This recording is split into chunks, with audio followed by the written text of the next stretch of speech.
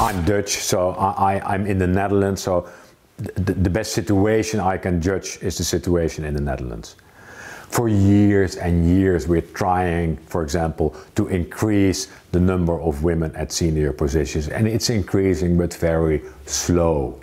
If we look at research showing the differences in salaries between men and women, there is still a considerable gap. 2020 is the year for tougher measures.